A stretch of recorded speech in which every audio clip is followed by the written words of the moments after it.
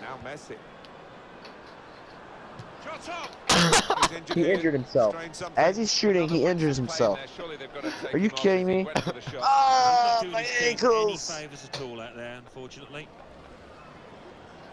He's still hurt. Finally carrying it on. Stop limping, you little bitch. Look at him. My God. Well, this is a real You know what? shock. You can see it in the face.